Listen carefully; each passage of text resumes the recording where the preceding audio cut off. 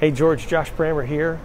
I am standing out in front of the Under Armour store in Mebane, North Carolina. It's the closest store to my house in Raleigh uh, that I come to. I just wanted to send you a quick note. Um, oh, by the way, I saw on your LinkedIn profile that you uh, you went to Madison. Well, my wife and I uh, lived in Appleton, Wisconsin for about three years, and we loved it. It was one of our favorite places we've lived in our married life. The only downside to Appleton is the three months out of the year when you walk out to get your mail, you freeze your nose hairs because it's so cold.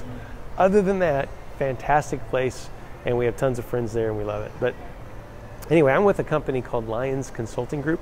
We are an e commerce digital agency that specializes in Salesforce Commerce Cloud.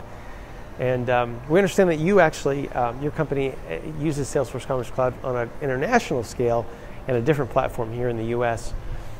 Um, we work with brands like Patagonia, GoPro, uh, Titleist, uh, FootJoy, and about 300 others uh, to help them roll out global e-commerce platforms on Salesforce Commerce Cloud. We also help them deliver a creative and a user experience that matches the platform they're on that gives them the most revenue and results from that solution. We also have uh, full application support models and digital marketing strategies for companies that are, have implemented digital marketing cloud on top of that and just to get better results from their campaigns. So we do a number of things around that solution and we just we just feel that Under Armour would benefit so much by having um, all their brands and their uh, country channels all on a single platform and we'd love to have a deeper conversation with you about that if it makes sense George.